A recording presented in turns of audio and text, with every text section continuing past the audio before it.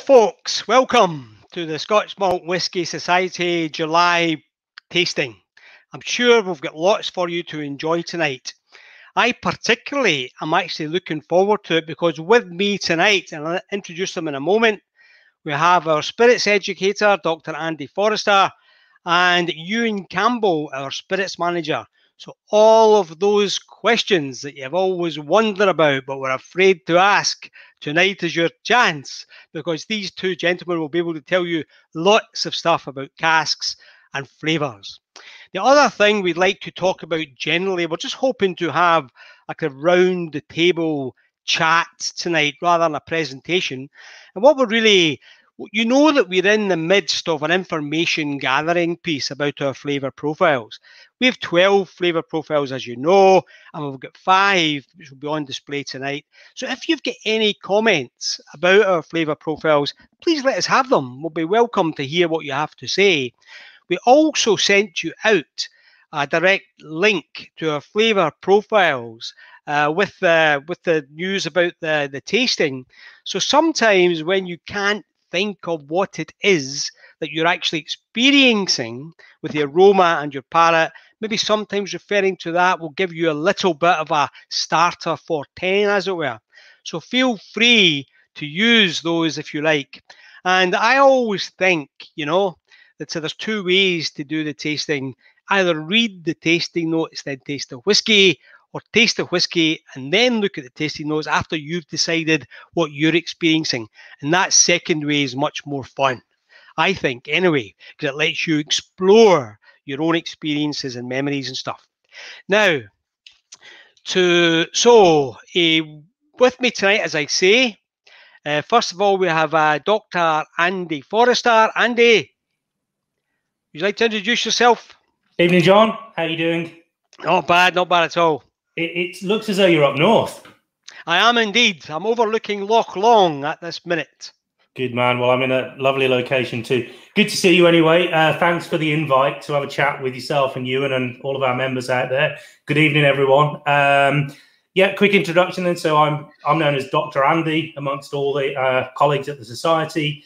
Uh, my role is spirits educator. Mostly what I do is um, provide our ambassadors with uh, knowledge about uh, our own whiskies, what Euan and Kai are doing with the maturation program, for example, but also sort of more broader uh, whiskey education. Been in the whiskey industry for what, getting on for 20 years, worked with some of the big distillers and also worked at the Scotch Whisky Research Institute. So I've got quite a lot of sort of, um, I guess, technical and scientific insight particularly in terms of where flavor comes from in the production process, whether it be in the distillery or during maturation. So please, as John said, everyone, do throw those questions at us and we'll do our best to answer them. And as we go through each of the whiskies, I'll try and give you some little nuggets of information about where flavor comes from because we all know that's good social currency and it's always good to be able to drop a little uh, little nugget of info in, with your mates when you're sharing a dram. So, um, looking forward to it. Thanks, John. I'll um, let you introduce Absolutely, you. Andy. Just before we bring you in, hiya Tamara. Nice to hear from you. Nadia and Jens in Frankfurt. Peter Reichwald, hello there. Ali Cam. Julie, Whiskey Julian. Greg, yeah, great stuff. Great to hear from you all. Keep on telling us who you are and where you're from. But at this point, I will bring in Euan, our spirits manager, and if some of you might remember a bottle from an out a few out turns ago called the Big Ginger Frame Moffat. Well, that was a direct reference to Mr. Campbell. Euan Hi guys, how how you going? I'm all right. All right, Euan. Very uh, very glad to join you this evening, guys. Uh, so I'm Euan. I'm the spirits manager here at the society. Um, I look after buying all of our, our spirit and wood um, I will look after spirit quality, and um, work with our tasting panel on selecting all of these lovely drams that we're about to try tonight, um, as well as a little bit of blending as well.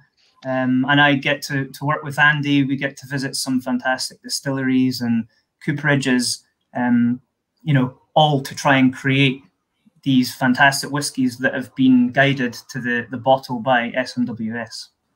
Great stuff, Euan. Thank you very much. And hello, Anne, Anne Bingham from down in Southampton there. She's appeared in one or two of our unfilters.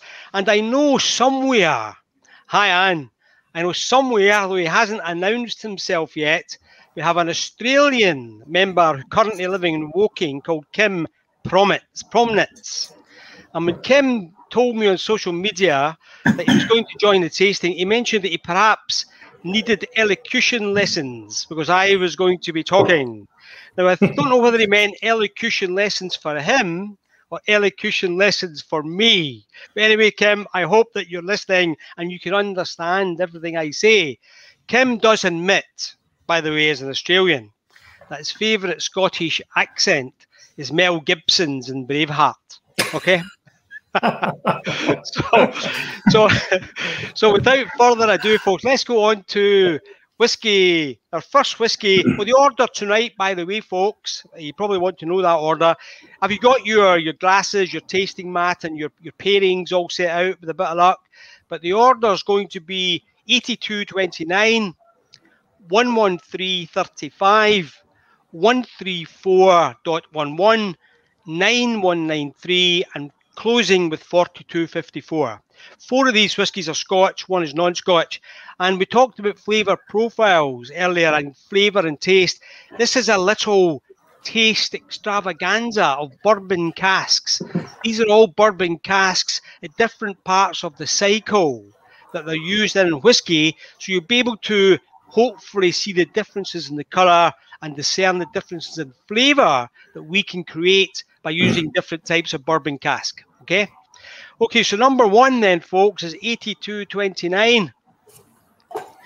And we've uh, we suggested pairing this with a little beer. Uh, in the west of Scotland, we call this a hoff and a hoff, which is Glaswegian for a half and a half.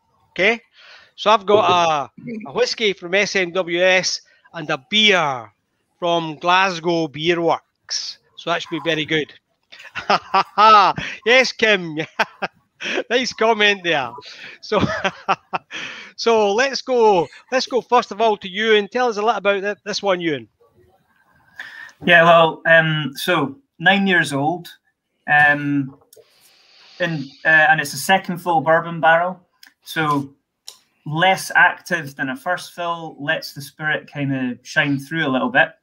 Um, the the initial character on the nose for me, I got kind of biscuity, almost grassy, and then it goes to orangey grapefruit kind of style. Um,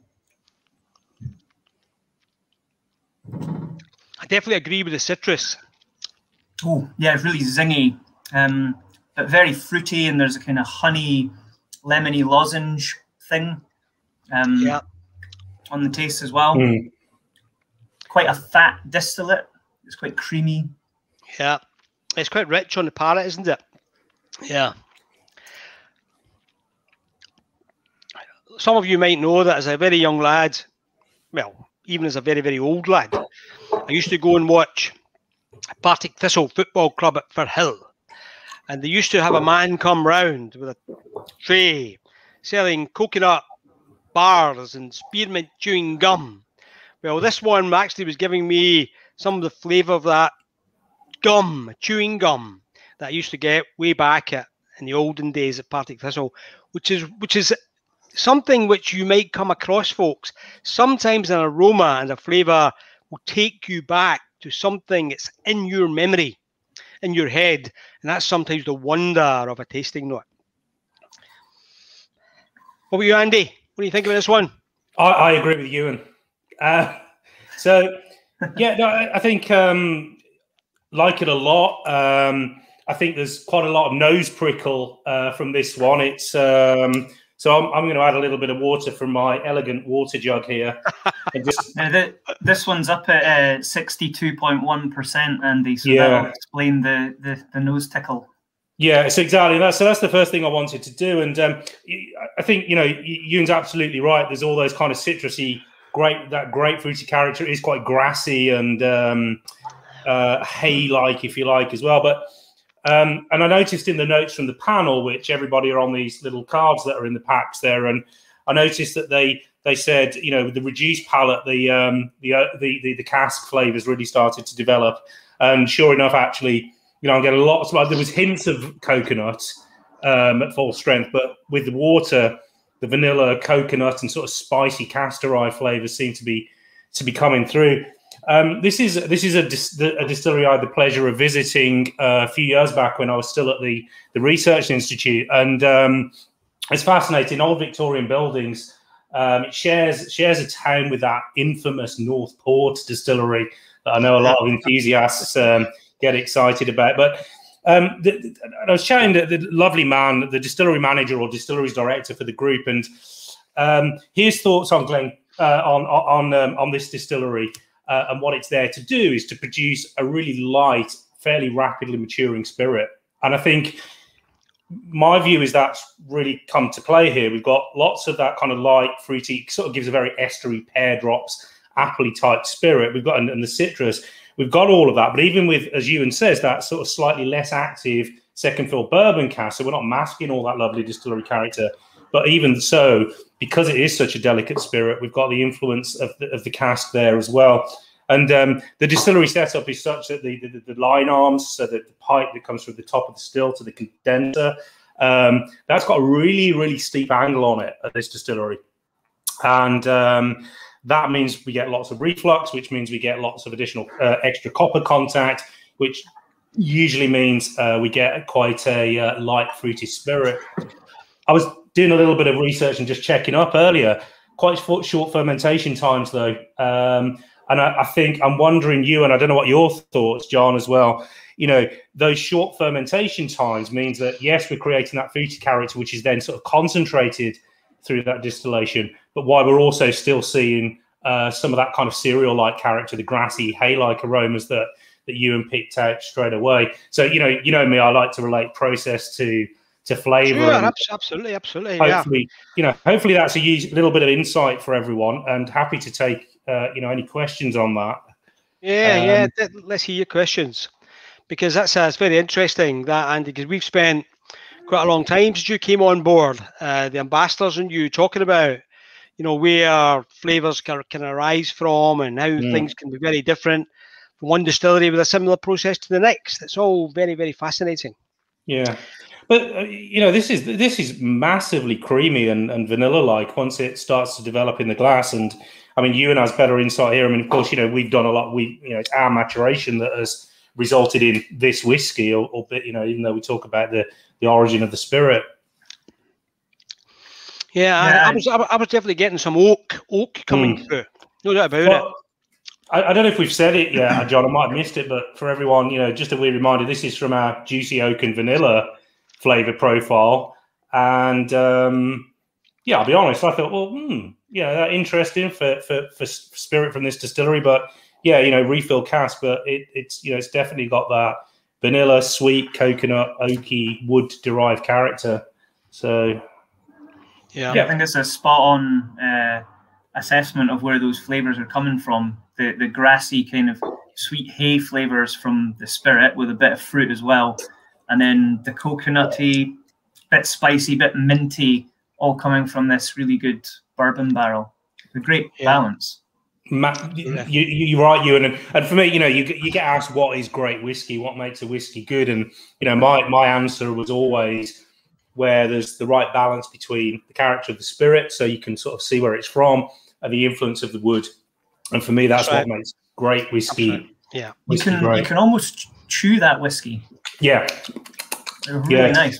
Very juicy and very chewy, and lovely tannins. That that kind of astringent feeling, that drying around the, the gums, folks. You know, that's the tannins which are, are extracted from from the wood, uh, giving that, that that nice mouthfeel and that structure to the whiskey. Great stuff. So is that all, all, everyone's enjoying that? You've got any comments? Were the same, or you get something different? Please let us know. Um, I always when, when I do a live tasting, I like to ask which whiskey people preferred as we go through. So, so far, who preferred number one? okay. Oh, by the way, Kim, Kim Promnitz. Hi, good day to you too, Kim. Kim also happened to mention to me in social media uh, when we had our little exchange about this distillery being in the Southern Highlands. And I said to him, Well, Kim, I think you should turn your map round the other way. so there you go. There you go. So it's uh, so the next one for. Hope you all enjoyed that. I'm looking forward to any comments you got to have. And now we're moving on. John, John yeah. McCheyne, just just while you're on comments, let's not lose it. John Cameron, and thank you. Oily and Coastal um, is a great profile. So make sure we come back to that because I know it's going to get lost as we go as the oh, comments. Oh yeah, okay, yeah, in, so yeah, yeah, yeah. We have an Oily and Coastal coming grab up. that one because I'd like to. Good I'd point. like to talk about that. So thanks, John. Yeah, it's a, a yeah, great good, one for everyone. Yeah, good point, John. Well done. Good stuff. Excellent starting. Ari Cam says.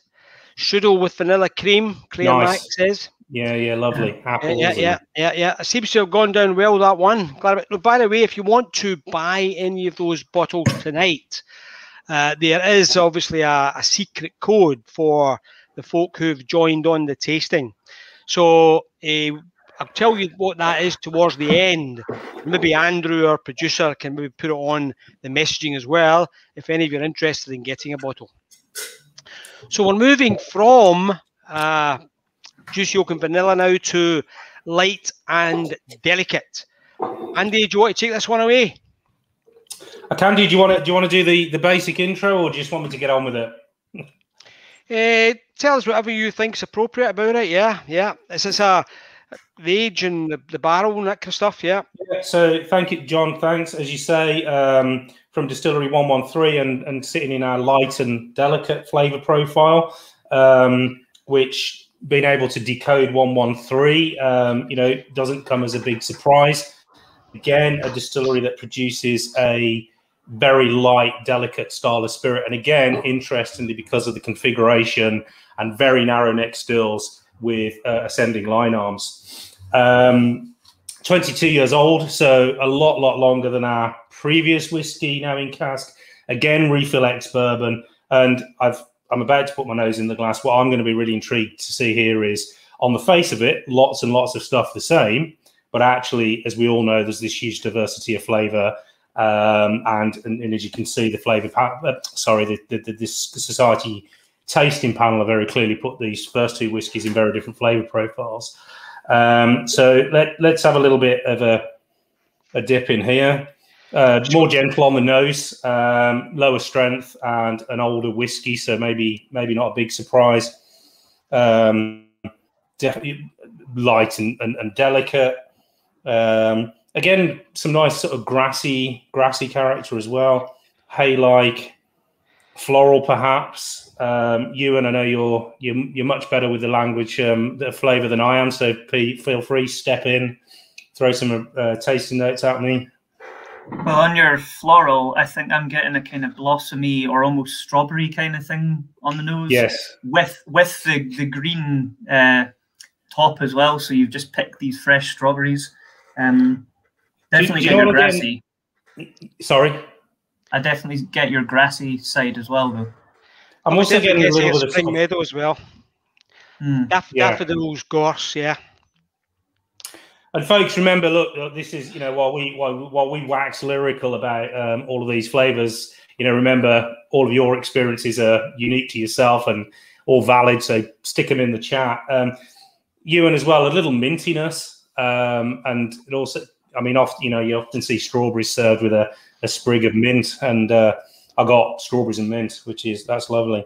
Maybe even a little bit of sort of nettliness that we describe sometimes. Um, hothouse, you know, you know, Kai's classic hothouse flowers, that sort of greenhousey character. Yeah, absolutely. Vine yeah. leaves, tomato leaves. Bit of lavender in there too, lime. Yep.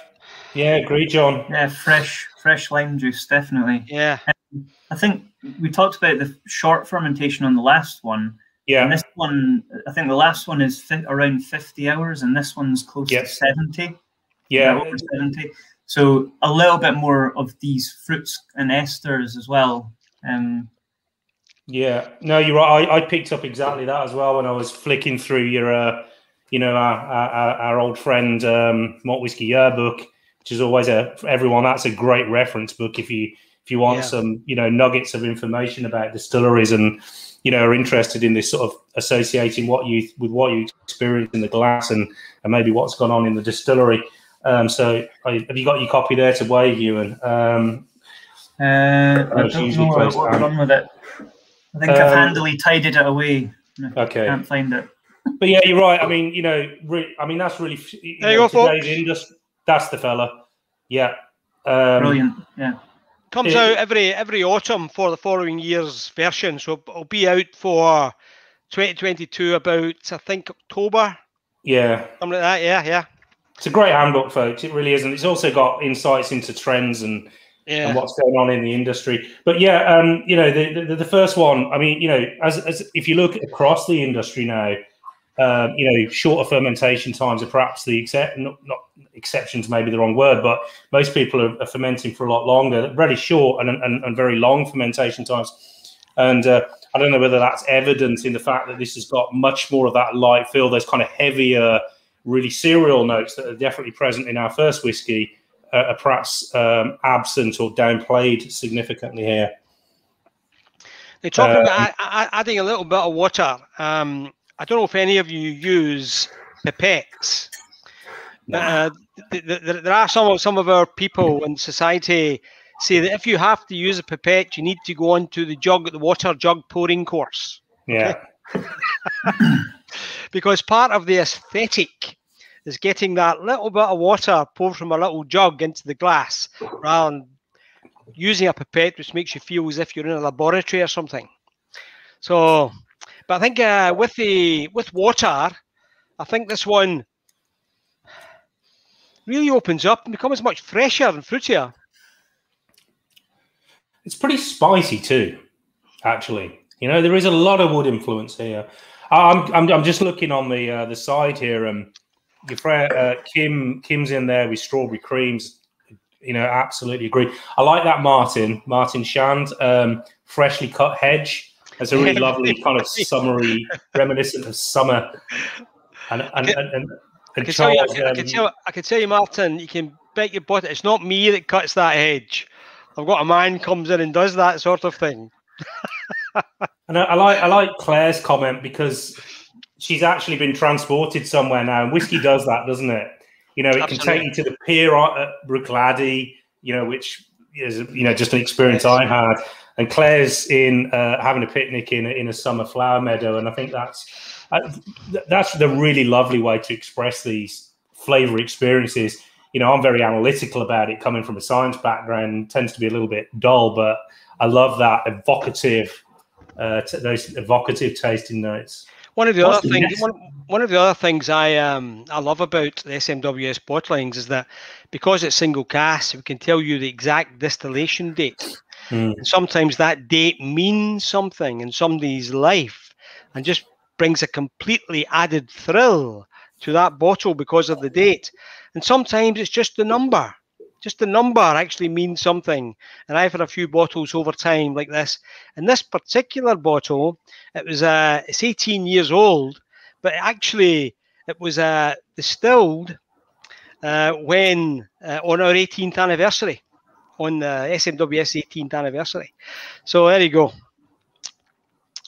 And if you're an utter geek like me, John, it's also interesting sometimes to look at when the spirit was distilled and have a think about whether the distillery was doing things differently in those days. You know, we've all got those examples about, you know, switching from coal fire stills to steam steam coils, for example, or you know, other switches in production that we know have famously happened at distilleries. So, and you know, that's a re- another really interesting way to explore flavour and another good re- what you know another reason why it's so great to have as society members access to all of these you know single cask malt whiskies with all of the information that Euan and I and Kai work to to provide you with because it can we you know it, it, it puts a story in the glass as well as some great tasting whiskey and flavors doesn't it Yeah, with, with this particular distillery, by the way, we have uh, in recent years had six different flavour profiles. Now, that's six different flavour profiles uh, from the same spirit. And Euan, you know, you you you must have a whale of a time going about that warehouse, you know, sampling all of these different aromas and flavours from the same spirit in different types of cask. Yeah, absolutely. I mean, um, I regularly get samples delivered to the, the house. In fact, you can see a few boxes down there that Oh, just yeah, came today. yeah. Um, yeah, and and you know everyone throws up some surprises. Mm. Uh, you could think you know a, a, parcel of stock. You know, you could have a load of casks filled on the same day from the same distillery, uh, all the same type of barrel, um, and they turn out completely different, which is yeah an absolute joy. And then also when we taste them on the panel, you can find that three people have a totally different perception of the flavor profile that it should go into. So not only are all the whiskies different, so are we, and uh, yeah, that's something to celebrate. I think. Absolutely. Yeah. yeah. So, so I, was actually look, look, looking at this distillery before, sometime in the past, and I remember someone saying that it's often said that the air around this distillery is alpine, and that is a fancy word for freezing.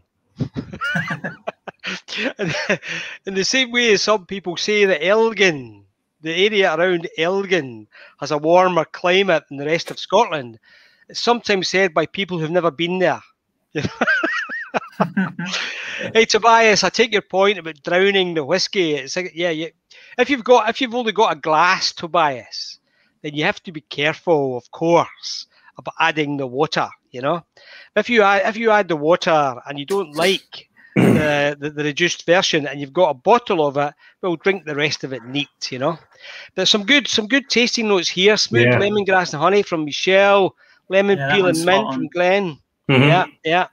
And there's Anne saying, yeah, Anne was reminding me, by the way, earlier that when I was talking about that oh. special code to buy the whiskey, it's, it's in the email that Andrew sent. But Anne said, as a chemist, I like a water dropper. That's what I mean, Anne. Yeah, it always seems a bit scientific to me, like in a laboratory. But I notice you, you say you pour from the jug too. So well done. It's it's just clicked as well, um, which which Anne is chemist Anne. So hello. um, nah, I still prefer my um, cycle bottle. Yeah, yeah, yeah, yeah. Yeah, Anne's a, Anne's, Anne's a good friend of mine in the society, and we'll be seeing you soon, I hope, Anne. A live tasting sometime in the next several weeks, I hope. Okay, folks, so oh. that's uh, eucalyptus and pine. No one yeah. else had thrown that in, and that's again spot on whiskey Julian. I think I know who that is. Hmm. Okay, okay. Hmm. Now, folks, uh, we're going on to the next one, and for this one, we're actually leaving uh, the home of SMWS whiskey. So I'm interested to see what you make of this one. This is interesting because this distillery, uh, actually, I know the ambassador fairly well. And a few years back, I was introduced to the chap who owns the distillery and his finance director. And they were very keen, actually, to work with us and I contacted, uh, connected them with Euan, and before we knew it, we had some 134s on the stock, and this one is 134.11. And because of uh, the climate of where it's matured, it can have very different results from very, very young maturation periods. And also, I am told by Shilton, the ambassador, that it depends when whether the whiskey is matured in their underground warehouse or on their ground level warehouse, it can make a big, big difference. What do you think, Euan? Yeah, I absolutely love everything that we've had from this distillery. Um, they're they're so intense, and there is something really exotic about them that you can't achieve in in a colder climate of maturation. Um, so this is only four years old, uh, fifty nine point nine percent, so still packs a fair punch. Um, but as you say, the it's a very different type of maturation, a much higher angel share there. You know, maybe up to about ten percent, um, five times the amount you would you would get here. So this is quite an old whiskey for maturing in that um, in that climate, and uh, yeah, it reminds me a little bit of um, when you get in rum. Uh, you, if you have a, a cask that's full term matured in a tropical climate, it can be very different from a sort of early landed rum that's been matured in the UK. Really different character. So everything that we've released from 134 um, has been full term maturation in Goa as well. Um, and yeah, I mean, in terms of flavor, really lovely exotic stuff. Um, hibiscus tea, honey, a bit of a spice market there. There's tobacco. You know, there's these deep Turkish delight kind of uh, aromas and flavors that just take you to another place. Really mm. delicious stuff. And I think I think it's very appropriate actually that we we should our suggested pairing with this one was curry or grilled pineapple. Mm. Yeah. Mm. And I think yeah, actually, I think, uh, yeah. I was just going to say, I think a, a heavy coconut-based curry would be good with this. Um, yeah, yeah, yeah. Well, do, do, do, do, you know, Euan, when we did our first ever curry and whiskey tasting? I do not. I tell you what, well, it was when the it was the year that uh, the next whiskey was distilled. There's a wee connection, so we'll get to that when we get to that. So um, I'm wondering if there's some some mind readers because there was a couple of points I, I was going to pick up on and, and mention, and then sure enough, Whiskey Julian and Ian McIntosh jump in there with with um with, with, you know with exactly the points I wanted to address. Look at the color of this, folks. You know this is unquestionably uh, the most uh, intensely colored whiskey on the table. It's the youngest whiskey on the table. Um, as you know, we, we, you know we we don't use any uh, artificial color for our whiskies, so everything you see here is natural color. Exactly the same kind of cask, refill bourbon, same as the previous two whiskies. Younger, far less time to take on cask influence, but so much more color. And that really just um, that really, I guess, uh, that's really linked to what Euan was talking about, how the maturation is is, is much more rapid um, in the climate. Um, uh, where where the spirit's distilled and matured. Um, and so we, you know, you get much more. You mentioned you obviously lose more through evaporation. That's unfortunate, but you get a lot more cask influence um, in a shorter period of time. I was just casting my mind back, and I'm not. I, forgive me, I forget the member's name, but I had a great question about how um, how whiskey would mature differently in, say, somewhere like Goa you know, in a hot climate or or compared to Speyside. Uh, and I seem to remember I wrote it up as a little piece for Unfiltered. Um, and uh, I just thought maybe just you know worth just saying a few things here because yeah, look, um, you know the the, the, the, sort of uh, the most simple simple bit thing is yes we get we get more rapid extraction of flavor compounds from the cask. All of those flavor compounds that have been generated in the wood during heat treatment or are naturally present in the wood they're extracted much quicker because of the higher temperature. Um, but the, the, you know, but, but what you don't necessarily get, although you know, Anne will would I'm sure correct me very quickly if I said, you know, this doesn't change the rate of chemical reactions necessarily.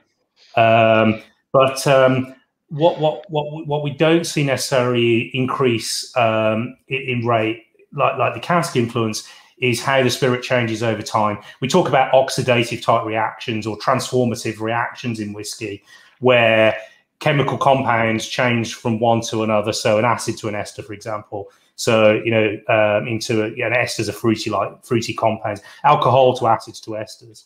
And, and, that's not necessarily accelerated in the same way that the extraction of the flavor from the wood is. So I think it just poses a nice little discussion point. And if you're sitting down, you know, if you're sitting around with pals and you trying to, you know, having a few more drams later and, you know, being philosophical about it. Or, you know, this is an interesting one.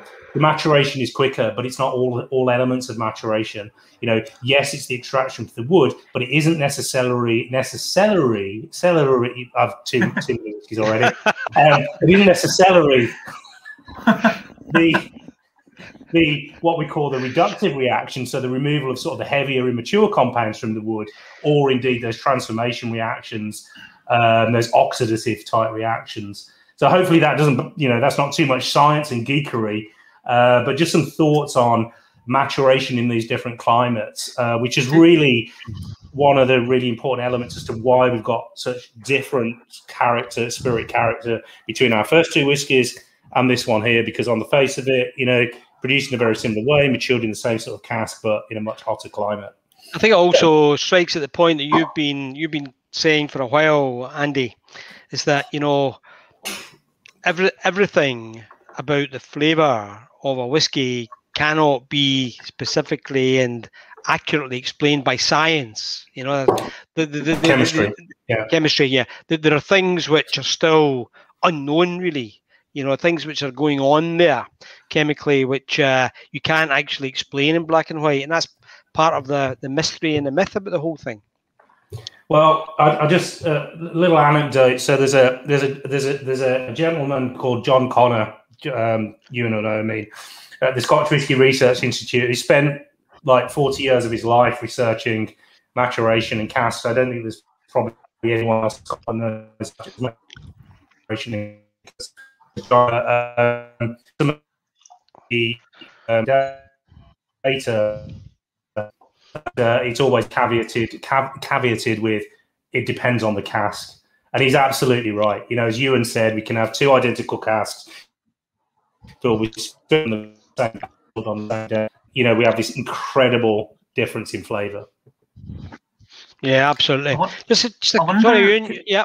Sorry, John. Um, I was just going to say, I wonder, just with the the higher angel share, like something that that I quite often find if you've got a say a 10 year old cask of scotch that comes in a sample of it and it's quite dark and it's really intense coconutty like this um, and then mm. you go to bottle it and you find out that it's been leaking um, uh, not quite the same effect but I wonder whether there's an element of you know uh, making a sugar syrup like you're reducing the volume and you're intensifying all of the flavors that are in there with the the higher rate of evaporation pure speculation, but um, kind of makes sense to me. Sounds, sounds well, no, yeah. yeah. I mean, you're absolutely right, Euan. I mean, you, you know, you are concentrating flavour through through through that evaporation, and that's going to be even more relevant in in a hot, you know really hot climate uh, where this is from. The, the other the other comment I was going to make, I don't know if you concur, chaps, and you know everyone else in the, the virtual room. Um, and tasty, you're kind of breaking. Uh, you're kind of breaking up a bit, Andy.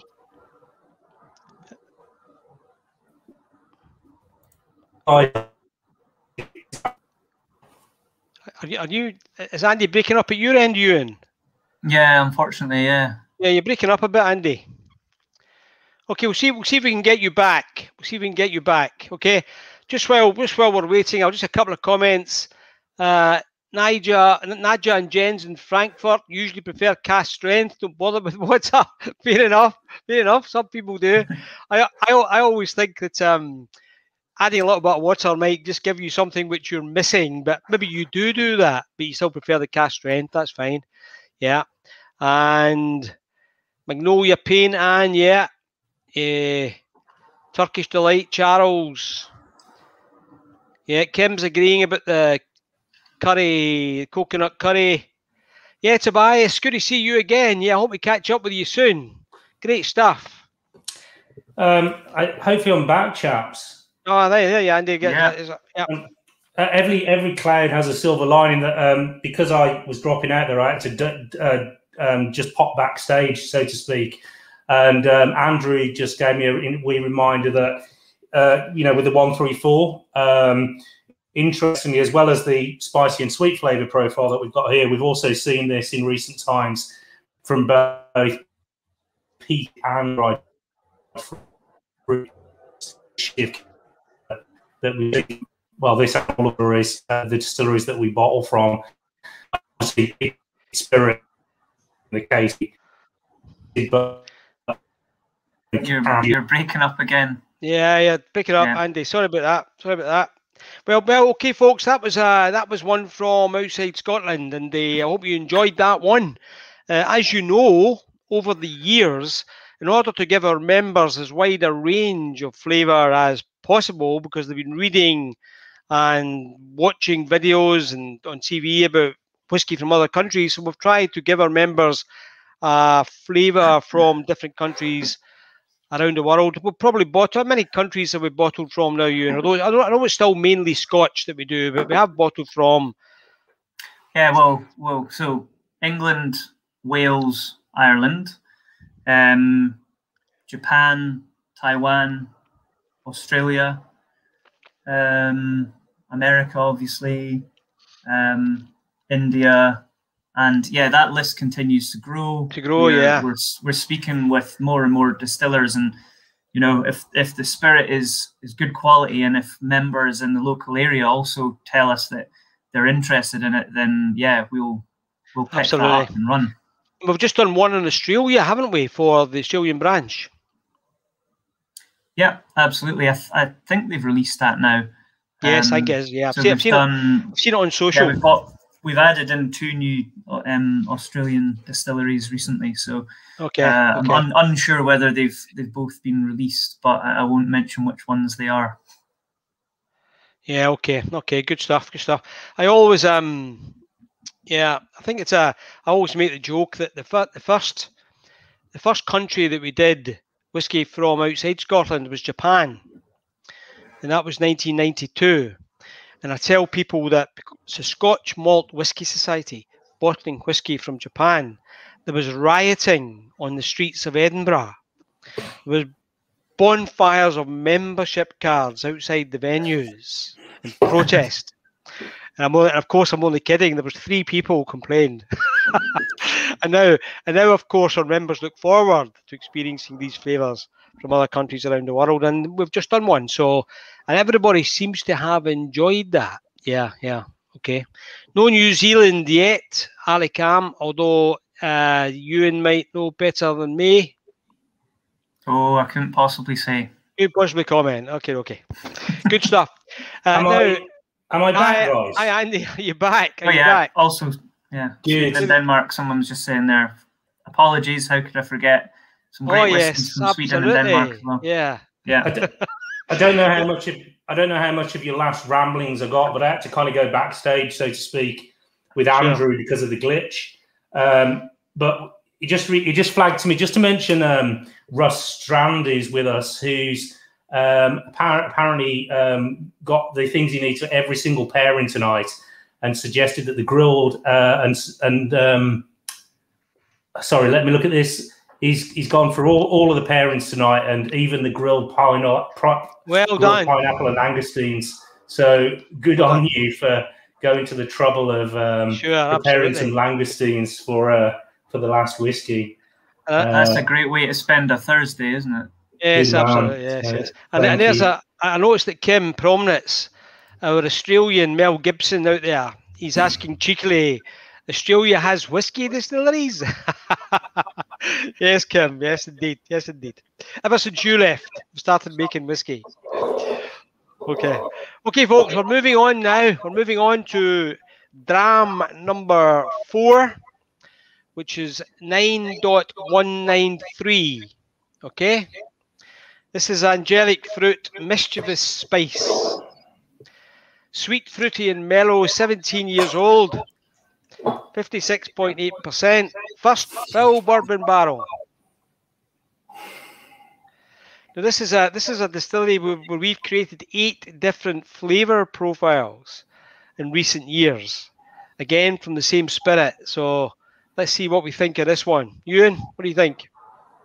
I mean, the, on paper, this is my kind of thing. You know, mm. um, this sort of high teen uh, Speyside in a very active cask. And if you look at the the color, it's actually quite close to the we were remarking on the the last one. That's right. Um, That's right. Yes. It, yes. Obviously, it's taken it a lot longer to get there. Um, however, color extraction correct me if I'm wrong, Andy. I think most of it happens in the first six months of yeah. filling into the cask anyway. Yeah. So arguably, this this was probably not not quite this because it'll have gone more intense as the the liquid evaporated. Um, but a cracking quality bourbon cask. Mm-hmm. Um, lots of honey, mango, pineapple. There's like a cinder toffee uh, darkness to it that just gives complexity. It's just so you know, inviting and you want to jump straight into it, really. I've actually stayed at this distillery overnight. And with Robin Lane, one of our panel chairmen, some years ago at the Speyside Whisky Festival. And we were invited to do what we liked with the bar that was available, free bar. Uh, have, for... they met you before, John? for for for, for the, this beautifully uh, appointed rooms that you were staying in, and a free bar. And honestly, it was, the, it was the most expensive whiskey and wine you could imagine. Just help yourself. Wow. That's what I like. You the, the, the best two for a Scotsman. The best two words in the English language when used together are free and bar. Cheers. So you're right, Euan. That is intensely rich. Um, am I still with you? Yes, yes. Yeah. Okay. Yeah. No, I agree. Um, it's intensely rich, and there's a huge amount of, you know, sort of caramel, toffee, vanilla, almost syrupiness. Um, I think you mentioned. Did you say synthy, Euan? Um, and, and there's that kind of like condensed milk that the panel mentioned there. Michelle, the tannins are really tight as well. There's a huge amount of lovely tannin from the wood here as well. Um, agree with you uh, entirely there. The other thing that I picked out is um, that there's, there's, there's actually that lovely savoury element as well. Um, I, I, don't know if you get that, like um, not quite the intensity of the savouriness that you get with maybe something like a big meaty malt or but there's there's definitely some of that savoury character there as well. Um, and this just goes to show that all this nonsense and these, you know, all this information I'm giving you to impress your mates, you know, it doesn't always stack up. And you know, if we look at if we look at the distillery in question here, actually, in theory, on paper, it should produce a really light, sort of fresh, fruity style spirit, and broadly speaking, it does. Um, and the reason for that is that both, I think, both the wash and the spirit stills have these sort of big, what we call purifiers. So the the um, the spirit ent- exits the uh, the swan neck of the still before it hits the condenser. It enters a big sort of open copper chamber um, where the spirit will naturally cool. Uh, and that means that there's, a little bit of recondensation, uh, condensation occurs there. The, you know, the spirit recondenses and trickles and flows back to the pot of the still, which effectively, essentially, is is is increasing reflux and therefore copper contact, and therefore re- the removal of some of the compounds that give this kind of more heavy, meaty like character to, to some to some of the spirits that we know. Uh, Glendronach, you know, might be a good example of, of one of those. Um, but uh, yeah, so look, a distillery that's set up, uh, you know, to, to, to, you know to give lots of lots of reflux, lots of copper content, despite fruity style of spirit. But what we've got something, you know, still got some kind of nice weighty, savoury character um, to it as well. And uh, I mean, just in my view, just clearly filled into a, a fabulous cask. Um, Absolutely. That Euan's um, taken care of. Absolutely. I think this one, out of all of them, and back to the fermentation again, this is the shortest one of any that we've tasted at 48 hours, which is pretty much the shortest you can do. Yeah. Um, but then I think with their still setup, they, they're able to shape um, that, uh, you know, that that wash into just a, an absolutely lovely light spirit, like you say. Mm. Um, but probably adds complexity by doing a maybe a heavier style mm. of hmm. fermentation and then mm. a hmm. lighter style of distillation. Mm. Um, I think um, that's, that's, that's that's that's a really good observation, Euan. Uh, just uh, just just about, uh, about your your role, it must be fantastic for you to actually see some casks that you've filled coming through to fruition and bottling. Yeah, um, it's it's absolutely brilliant. Um, obviously, with our additional maturation program, we see quite a lot of casks coming through. Sure. Like, oh yeah, I remember remember transferring that to a different cask three years ago. Wow, that's that's worked. Um, but then I think the first casks that I ever arranged the filling of were back in 2014. So it, they're still not quite there yet. It'll be another yeah. couple of years, but I'm looking forward to, to bottling casks that I've kind of seen from the very start. Ah, fantastic! Um, yes, to the finish. Yeah, yeah, yeah, mm. absolutely. Um, all, all of these comments are great, but I'm just picking out from Kim. You know, honey, dark fruits, rich condensed milk, caramel, some tannins, and, and almost meaty. And you know, I guess that's what I was trying to describe, Kim, and you you know you've done it really well. You know, almost a meatiness to this dram, which um, adds you know adds real complexity. Yeah, Peter, you like this one? Double check, double check. Yeah, good stuff. I thought he's Peter's, Peter's a well-known London member.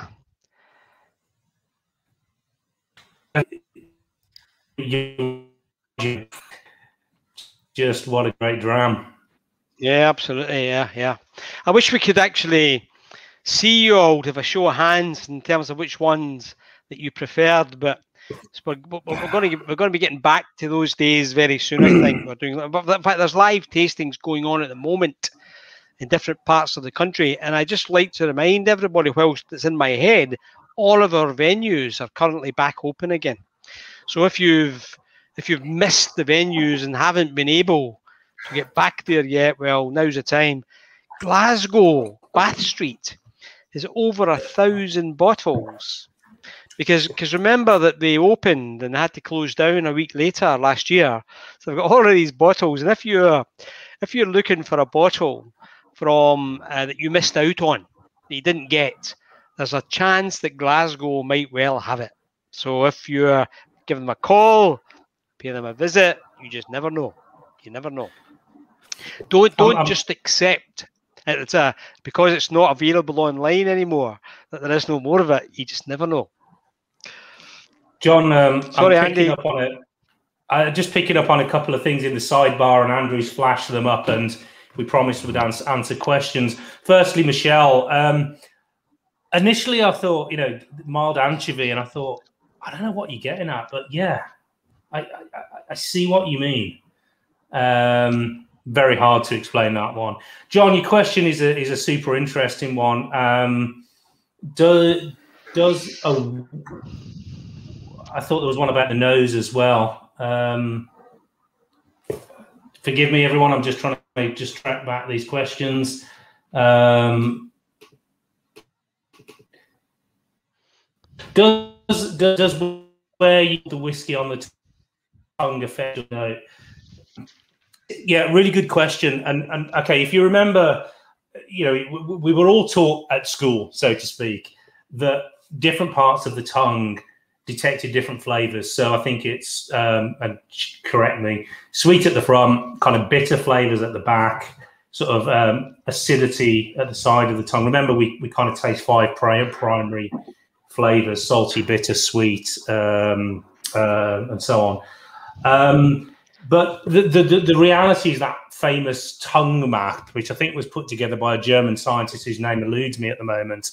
Please chip in if everyone anyone knows. It's kind of it, it's not entirely correct, and what we know is that actually these different um, taste receptors are all over the tongue and present. All of them are present on all parts of the tongue. Uh, it's just the um, the uh, what's the word um, the density of of them varies and differs on different parts of the tongue. So, look, hopefully that answers the question. Um, possibly to some extent, uh, but I would always recommend when we taste a whiskey, look, just you know, let it roll around the mouth, get it around the gums, around the teeth, all around the palate, because yeah, you're going to get a different experience. Those tannins are very, very definitely often detected around the gums. Uh, I think I saw a, a, comment again about tannins there. So, uh, trust I've answered the question. Um, I see some more questions. I don't know if we can do them now. Um, um, well, I think, I think that's a question about the, the acoustic guitar there. Uh, it's, a, it's actually a Fender guitar, the acoustic kind there, not a Martin. You um, a question a question for you, Euan, about does it ever has it ever gone wrong with a finishing cask? I'm just trying to find the exact question. Hmm. It's just it's uh, just come up on the bottom there. Oh um, yeah, yeah, yeah, yeah, yeah. Uh, yes, ab- absolutely, because we're dealing with a natural living product that's ever evolving, and you know, we if we buy in Sherrywood, for example, we make a point of going down to the warehouse and nosing every single cask before we put any whiskey into it.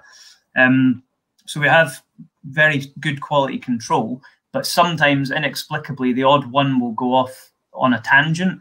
Um, but I would say nothing is beyond redemption. You know, there's a long period of time that every cask has to mature and try and reach a point where it's it's perfect for you know for itself. Um, and either you can leave things for a, a, a, very long time, or you can go, you know what, that cask isn't doing its job. Let's move it to a different one. Uh, mm. And then three years later, you've got a fantastic whiskey. Um, one thing, uh, just a little bit, a nugget of information to add um, in the background, everyone's picking up these slightly meaty, savoury notes from the number mm. nine. Um, and I remember when we bought this cask, there was, or there was a, a number of these casks, um, and one piece of paperwork said lightly peated malt was used, mm-hmm. and it's it's pretty much undetectable in all of them, but there is this sort of je ne sais quoi, like you know, that give that, that gives it this like layer of mm, that's really interesting. So yeah. Um, yeah, yeah, no, that, that I, I, didn't know that. You that's super interesting, and you often hear about um, Speyside distilleries using very small uh, quantities of lightly peated malt. My old, uh, my old um, home distillery being one of them. Uh, um, back to Euan's thoughts as well on that. The, the, the going again, Andy. Oh, am I here? Yeah, yeah, you're, you're coming in and out. Okay. Maybe try pop pop your camera off, and then you can you can still give us yeah. the, the pearls of wisdom. Andy, uh, Nadia and Jens from Frankfurt are suggesting it was David Hanig who did the, the tongue map. David Hanig. That sounds yeah, that sounds familiar. Yeah. Can you hear me? Yes, mm-hmm. can hear you loud and clear yeah, now. Yeah, yeah. Well, well, I'll leave the video off. So there's two benefits. You might hear more of what I say. You don't have to look at me. but, you um, beat me to it, Andy. You beat me to it. Good job. You can't see what I'm doing right now, John. but I, I was just making a point about the panel and the society tasting panel. Of course, everybody, all of the all of our members listening tonight will know that those are the people who are responsible for uh, those uh, rather colourful tasting notes and the kind of often wacky, crazy names that we assign to these whiskies. But also, it is you know it's a very important quality control step in what we do. Um, and you know, it, it's it's the panel you know to sort of pick up on Euan's point about um, you know different later. Well, it's the that's the panel who decide when to bottle our whiskies. You know, why we're not constrained by it needs to be a ten year old or a fifteen year old and, and all of that we bottle the whiskey when the panel says it's ready to bottle. Um, so yeah, just just just wanted to flag that one, and hopefully I'm still audible. Sure, yeah, I can hear you. Yeah, that's great. Yeah. So, lots and lots of lots and lots of good comments from the the members here. Uh, Anne Anne Bingham remembers David Hanig as well. Obviously, it's discredited now. She's saying. Uh, yeah. And uh, I think uh, Greg Mill knew and is saying, what type of spirit cask finishing is your favourite? And which ones are more tricky to manage? Um, probably my personal favourite is um, American Oak Sherry, so either Pedro Jimenez or Oloroso, those oxidatively aged sherries. Um, I think the balance you get with the kind of heft of the wine and the the lovely rounded vanilla that the American oak can give with, with its toasty flavors is like kind of perfect for me. And it tends to go well with lots of different spirit styles. So you could go quite light, uh, you could go a meaty style, you could go peated, and these ones really add you know add to the party with all of those spirit styles. Um, so yeah, hopefully that um, that answers yeah, okay. the question. Okay, okay, okay. Well, tricky tricky to manage. I would say wine casks. So mm. like red wine casks, it could be like Bordeaux or Rioja or something like that. If they're not handled properly, uh, they you know you need to fill them pretty much at the winery to um, to get uh, the freshest. There are some companies that are that are excellent at um, at handling the casks, but you kind of have to be careful with with wine casks. And, and, okay, thanks, Ian. And then exactly why the cask that we're buying from a ref, it's all about you know close partners who we understand and know what how they do things. You and um, I think. Yeah. Can I just quickly um, sort of re- respond to Anne about umami meaty taste? I don't know. As you're a chemist, I'll um, I'll sort of be quite specific. When when we tend to talk, when we in whiskey tend to talk about meaty uh, we're usually referring to character that's derived, um, you know, as a result of sulfur compounds present in the spirit. So I'm not sure that's necessarily what we might describe as umami. Um, you know, it's very differently the kind of sulfur derived compounds that, that, that, that give that kind of meaty or weightiness to the spirit. So hopefully that's useful and uh, a bit of chemistry to, um, to throw in for you. Thanks, Andy. And just uh, just to link back to what I said before, this whiskey was distilled in 2003, and that was the year that we did our first ever curry and whiskey tasting. Mm. So there, there's a completely irrelevant fact for you, you know.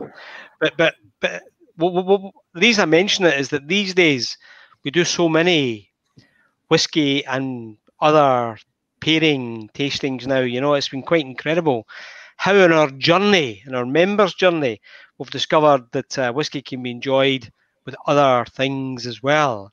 Whereas generations ago, it was always regarded as maybe with a beer, but with nothing else. So it's fantastic. And we've got a couple of very special tastings, pairing tastings coming up as well uh, soon, which you'll see on the website, something you might never have thought of. Okay, so the last dram of the evening, folks, is number 4254. This is the only one tonight that's been from the islands. Okay. It's Oily and Coastal. John Cameron mentioned uh, Oily and Coastal earlier. I'd be interested to hear your thoughts, John. Uh, it's 15 years old, 61.6 from a refill bourbon barrel. Okay. And we suggested this one, if everyone's got their tasting pairings organised, we suggested with this one grilled langoustines or cold prawn party ring. Okay. So here we go. Just a comment on the strength there. I mean, that's that's still quite remarkably high for something at 15 years, and I think that this distillery, quite as as common practice, fills at high strength, if not still strength, still, still strength. Yeah, yeah, yeah, yeah, so you get a very different type of maturation, and they tend sure. to go for for much longer, um, yeah. because they start higher as well. Yeah, I read. Um, yeah, read exactly that earlier, Euan, when I was on my fact checking. Sixty-eight percent fill strength. Yeah, I remember a few years ago, Euan. Well, a lot of years ago, when we uh, we bottled a whiskey at sixty-six percent and I read it, nearly fell off my chair. But then, of course, it dawned on me that you know wouldn't have gone into the cask at sixty-three point five. You know, not Scotland yeah. anyway. For everyone, um, you know, um, the, the, kind of rule of thumb is that you lose about half a percent ABV strength every year, along with your, you know, rule of thumb two percent angel share. So two percent yeah, yeah. of bulk, bulk volume and half a percent ABV for every year of maturation. That's kind of what we talk about we were talking about flavour profiles earlier, chaps, and we know there are some flavour profiles which members really, really like, and we know this is one of them, oily and coastal. Members really tend to uh, enjoy our oily, and oily, and some people are not into it. That's the same with any flavour profile, but the ones who like it really enjoy it. But to, to, go back to, I think it was, is it John Cameron and the, the, the question yeah. at the start or the point yeah, you're right. We, we, we don't see as much as, as, of this as lots of the other flavour profiles, even you know peated. Um, I, I, guess the reality is because far fewer distilleries produce this style of spirit. You know, yeah, um, yeah. And um, you know, we've got some there's some old friends that when we do panel tasting sessions, you kind of know they're potential candidates for oily and coastal. But you know, as Euan will tell you, probably concur. You know, often there'll be debate between us about you know do, we really do, do we need to put this in peated? Because there's obviously a peated element to it. Or can it sit in oily and coastal? Um, you know we just have to we kind of have to think carefully because obviously you know um, we need to be very clear and explicit that it's peated whiskey if it is. So I don't know if that goes well, some way to explaining the kind of thinking and how we work and approach this this flavor profile. And so combination of the two really is there's you know a little bit of overlap into the peaty domain and um, the, you know there's, there's, only a few distilleries that you know classically produce this this style. Um, and uh, you know some of that oiliness perhaps can come from a you know waxy character and we know that's a character that's pretty rare in scotch whiskey um, so anyway just i don't know if you and you you know you any comments on that? Yeah it, i would agree with you. It's, it's, always a bit of a dilemma but then you, I think I, I always have to remind myself that the flavor profiles are just a broad kind of guide, yeah. and that if you know you de- you delve deeper and you read the tasting note or the bottle note, it will be incredibly clear that there's peat influence in there. So mm. it's not like you'll you'll fall into a trap and buy something that you weren't looking for. Um, you know, the same as you might put um, a heavily peated 30 year old whiskey into like the old and dignified flavor profile because mm. it has all these lovely Rancio Dunnage warehouse uh, leathery kind of notes mm. from long maturation.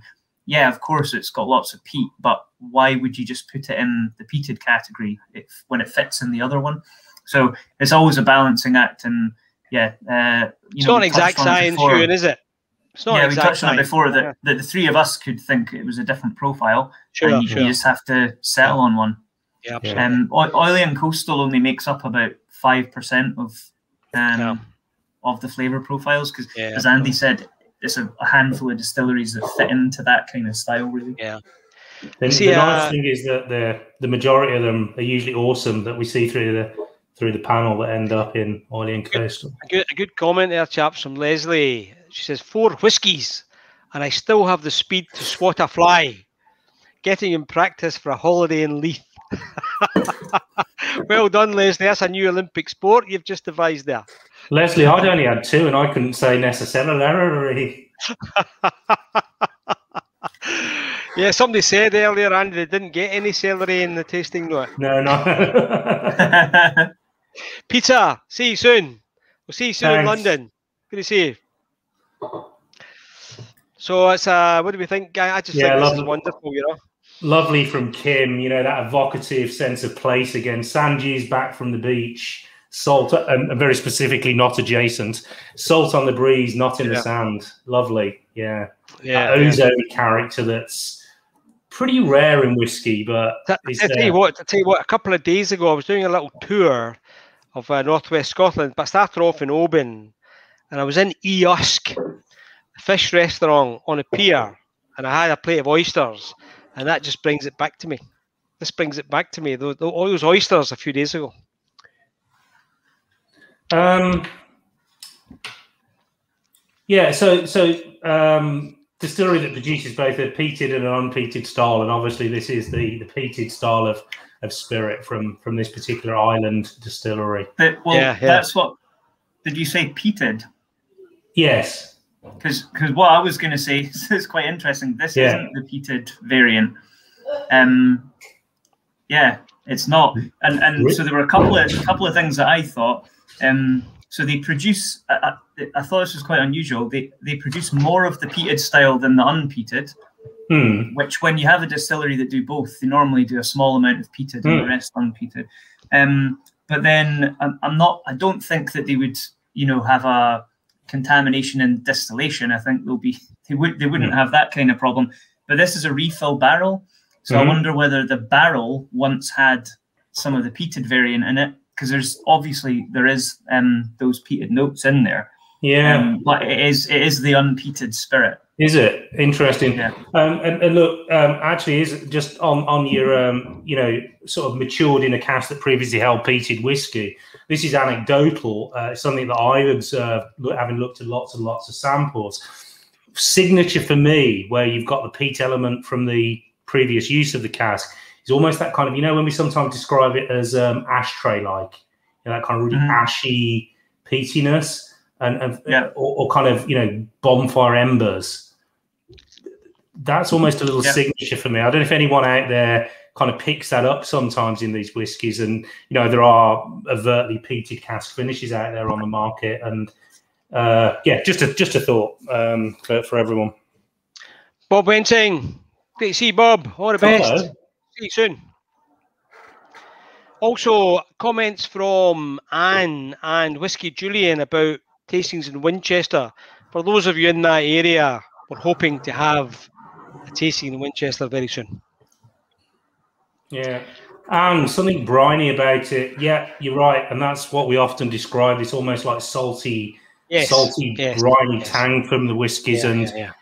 you know, there's certain certain brands that love to tell you about their um, sea washed walls of their warehouses and and all that kind of stuff. And you know, as a chemist, you'll be pleased. Well, you know, maybe interested to hear that. To my knowledge, no one's ever picked out sodium chloride in a sample using um, GCMS or or anything like. So, where does that brininess come from? That's a good question. It's probably perception rather than a That uh, is uh, hey, on flavor compound. Andy, you've touched on something there. That's one of the biggest debates that I've I hear about this saltiness in whiskey. Yeah. And uh, the lack of the sodium chloride in the drink can be still people talk about the saltiness, you know. Fantastic. Yeah, doesn't doesn't distill over, I'm afraid. Yeah, yeah, yeah, yeah. More, and some, somebody said uh, that they wish they had an SMWS venue in Aberdeen. Well, we don't yet, but who knows? Who knows? Maybe, Maybe we'll future. open one for a week and then have to shut again. so, folks, what do we think? Any, any final comments? We uh, would love to have you in front of us, as I say, to find out what was your favourite. But I think a lot of people seem to be saying the last two have been their favourites.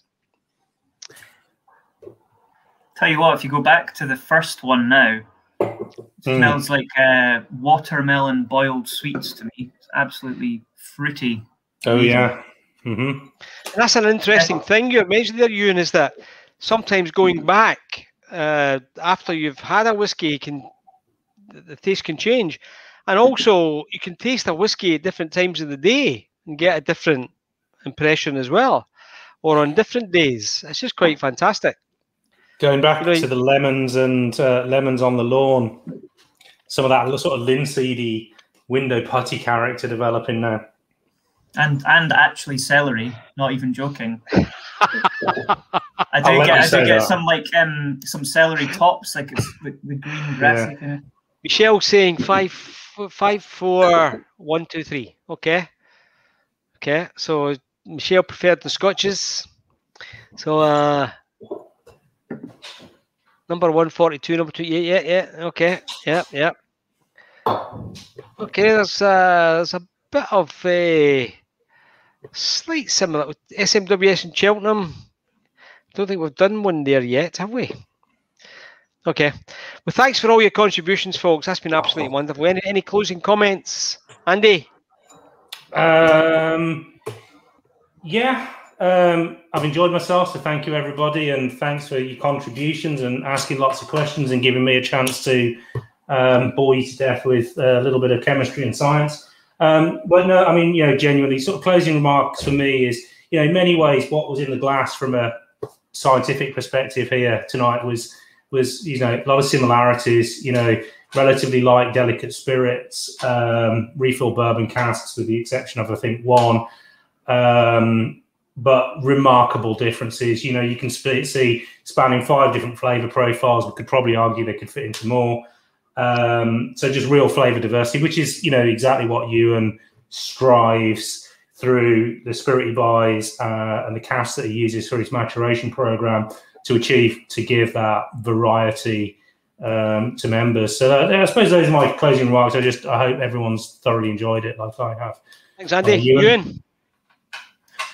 Yeah, um, what Andy said, um, but but also, yeah, I think this has been a bit of an ode to the humble bourbon cask, mm. um, which is just a you know a stunning cask type that I think is a, a little bit underappreciated, um, and we've we've seen what it can do and its different uh, you know levels of uh, activity. So the number of uses, the different sizes. So the hogshead of the second one being slightly larger and kind of coast the maturation on um, yeah, I just think it's a we've we've demonstrated very well um, how how good the the humble bourbon cask is. Fantastic, and uh, I think am I right, in saying that we're still in Scotland looking at the well, 20 million casks maturing, but 90% of them are bourbon, ex bourbon yeah. casks. Yeah, yeah. That's about right. Yeah. Yeah, yeah, yeah, yeah. So if not more. Yeah. Absolutely. So, but but we we're but as everyone, all our members know, we're now doing more finishing than we. Although we've been doing finishing for a long, long time, it's not been a recent thing, but we're doing more of it now. So there's lots more flavors to come. I've said through some of these whiskies tonight how many flavor profiles we've created from the same spirit through Euan's uh, cask management. So lots more flavors to come, folks. In the immediate future, we have the the August tasting coming up in four weeks' time. And we have Martin Markvardsen with us on that uh, from Highland Park. Great. Uh, and uh, he's a great guy. Yep. smashing bloke, and we no may also we may also have a very interesting guest from a well-known food uh, company, but we'll wait and see about that. As far as today's, the previews were out today for the outturn next week, and the full outturn is out next week on the 6th of August, of course. And as I said before, all venues are now open, and we hope to see you there. I have had the pleasure of seeing some of my uh, members from the. I, I am based in the south of England, and some of my friends from down there have been on the the, the tasting tonight, and I hope to see you live soon. And I also hope to visit Glasgow and Edinburgh again very soon too. I was in Glasgow last week actually. So just raise a glass to say thank you very much, all you members. Uh, thanks for all your comments. That's been incredible. I think we've I think we've managed to achieve what we thought we were trying to achieve, and that's a good interaction uh, with ourselves and our members. Any comments that you have uh, now or in the future, let us know. Let us know through member services. We'll be happy to talk to you about anything you've got. It's your society after all. All the best. Slàinte mhath. In good spirit, all. Slàinte mhath. Cheers. Thanks.